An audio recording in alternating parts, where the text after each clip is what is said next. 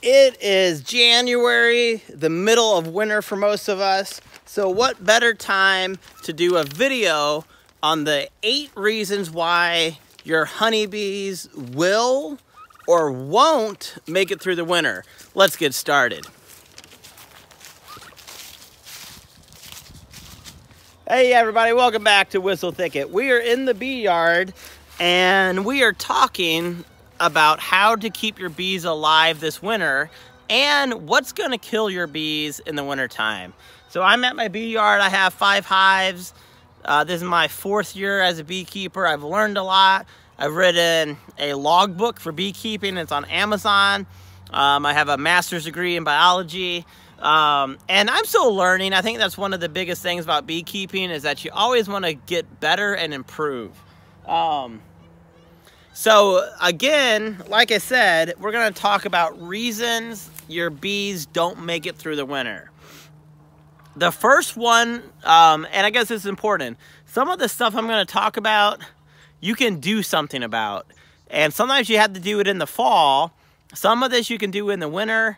And the important thing is that beekeeping is a science and it's an art. And I think a little bit of luck. So even if you do everything, sometimes you just don't get lucky and uh, your bees still aren't going to make it. So uh, especially if you're a new beekeeper, don't stop trying. If your bees don't make it this first year, um, I hope you don't quit because um, after a while, I think you get a, the, the hang of it and it's, it's just so enjoyable. So I'm hoping that if you're a new beekeeper and you're watching this, you're not going to give up. Okay, so first and foremost, you want to make sure you don't have a weak hive when you are going into the winter. So for me, I live in North Carolina, but in the mountains. So we have four or five snows. Um, we have freezing temperatures for several months at night at least. So that's the type of winter that I'm dealing with. Um, uh, you may live in a you know more harsh environment for the winter you may live in, you know, Florida where you don't really have a winter. Um, so this video may not be helpful if you live in Florida. Um, so if you have a really weak hive, a small hive, that's going to be a challenge the entire winter because that hive has to cluster together in order to stay warm, right? So I like to have bare minimum six to eight frames of bees in order to overwinter. If I have less than that, then I am probably going to combine two hives together.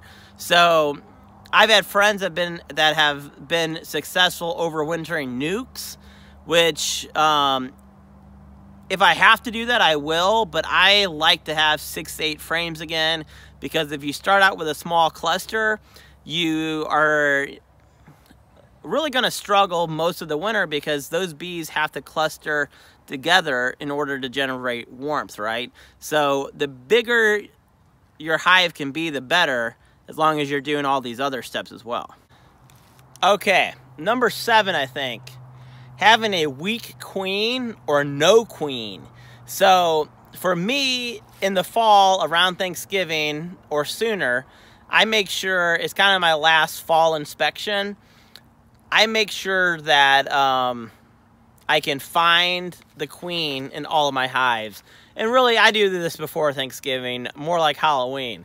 Um, so make sure you can find your queen because if you're missing a queen, even if your bees make another queen, your worker bees, she's probably not going to be able to mate in time and she's not going to be able to uh, be a successful queen. Number six, at least to me, is having blocked entrances. On most of my hives, I have entrance reducers. Um, I live where the snow is going to melt in three or four days. But if it doesn't, I make sure to clean off those entrances because your bees on a warm day, they still need to go and do cleansing flights. Um, they can forage for water, for propolis, propolis. Um, so having those entrances cleared is really important.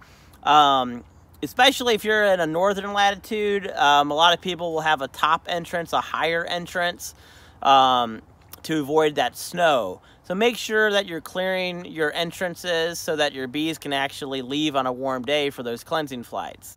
Okay, number five, I believe, or top eight, so this is number five. Um, it's not necessarily the cold, it's temperature differences, at least in my opinion.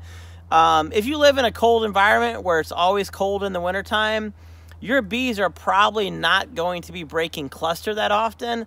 But where I live, it can be 60 during the day on a warm winter day and 20 at night. So my bees are probably going from cluster to uncluster during the day, and then at night they go back to their cluster. But if those temperature differences are really extreme, sometimes your bees may be out foraging um, or they may not cluster in time. So that's kind of a tough thing. Temperature differences, you got to deal with it.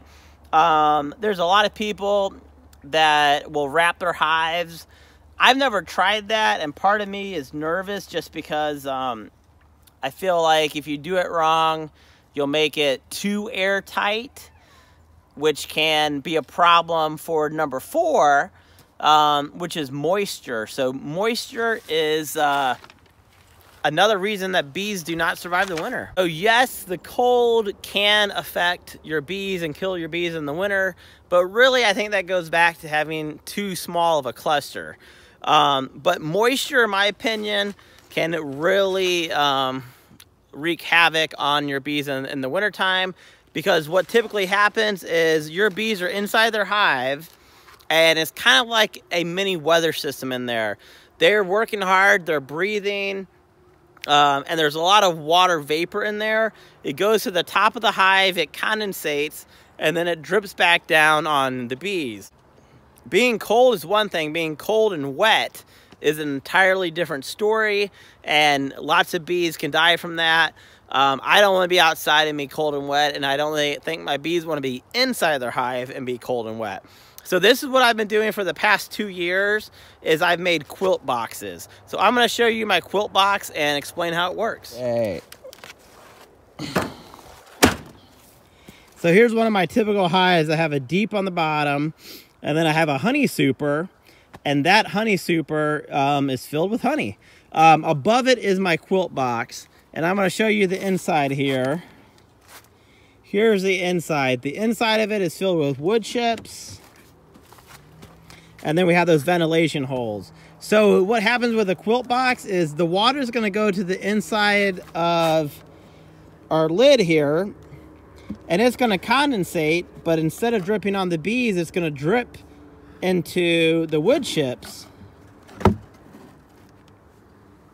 And then I have these ventilation holes and that's going to ventilate and dry out the wood chips. This has been pretty successful. Um, for the last two years I've done that. And any hive that I've put a quilt box on has survived so far, which I know that's not great data for just two winters, but this is how I prevent moisture from killing my hives. Okay, next we're going to talk about mites. Mites in the southeast have been a pretty big problem in the southern states. Uh, my first year of beekeeping, I lost my hives to mites. I have several friends in the area, they lost their hives to mites. I think a friend of mine lost 10 hives that year from mites. And I treated that year.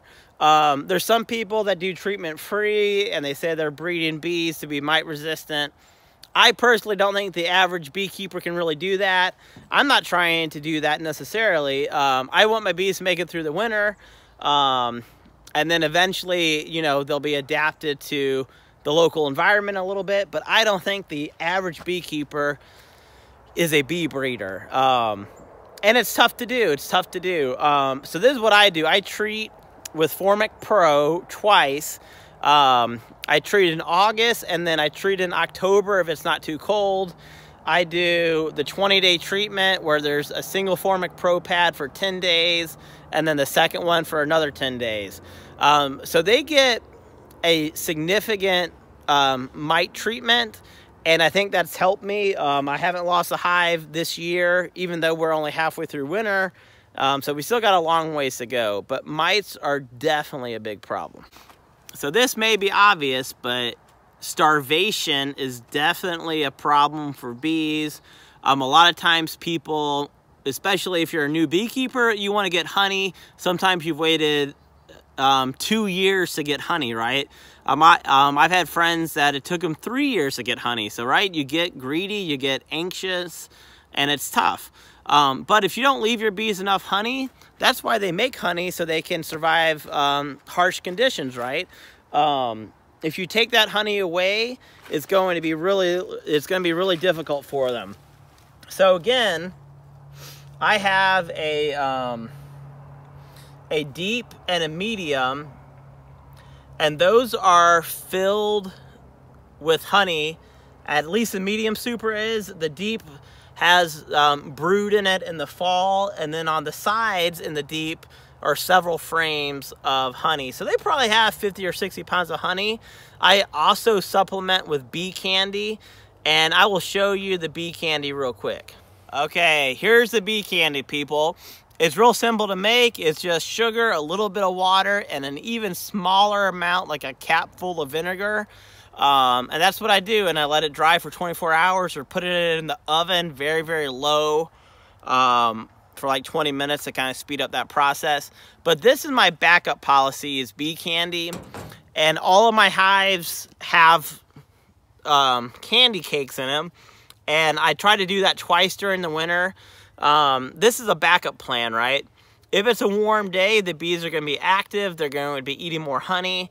Um, but really, their primary source should be honey. But that backup plan is there just in case they need it. And your bees will thank you for it. Um, especially if you have a long winter, um, it's really good to have that supplemental feed. I think we're on our number one reason that bees die in, in the wintertime. And that reason is you. That's right, you if you don't do all of these um, extras, your bees are going to have a lot harder time surviving. And on top of that, a lot of people, we're humans, we're curious, we want to help. We open up our hives way too much. Um, it doesn't matter if your bees are dead. If they're dead in December, they're going to be dead in February, people. If you keep on opening your hives to check on them on a warm day, then you run the risk of accidentally killing your queen or uh, you may break the cluster and they may not go back in time. So I try to open my hive as little as possible in the wintertime. I've only opened them twice and I haven't even really opened them. Um, I want to clarify this point. So this is my deep brood box and my medium super. I have not opened these two boxes since um, early December. When I say open, I mean I'm taking off um, my quilt box and underneath is where I have my sugar cakes. If you open these box, you're going to crack the propolis and it's very brittle when it's cold and it's not going to reform in those gaps again unless it's warm enough to uh, melt again, right? Well, not melt, but you know, it gets into those cracks. So if you're opening your hive too often, that's not a good thing. I haven't opened my hive since December from the medium to the deep. I only take off my quilt box, I put in my sugar candy, and that's it. Um, I know my bees are all alive because last time I put in the sugar candy was a warm day and they were all active. If it's a warm day above 50 degrees, you should be checking on your hive outside, not opening them up. Just go to your bee yard, look for activity, and if one of your hives isn't active, then I would be concerned. Um, especially if all all of your other hives are active, then I would be concerned. But um, this is just my advice, and I'm still learning. This is my fourth year beekeeping, I believe. Um, I've learned a lot, um, and it's just you know it's it's almost addicting being a beekeeper, and it's just fun. It's a great way uh, to earn a little extra income on your uh, homestead. And uh, yeah, I've just enjoyed every minute of it. So if this video has been helpful for you, uh, say hello, leave a comment, and uh, we'll see you in the next video.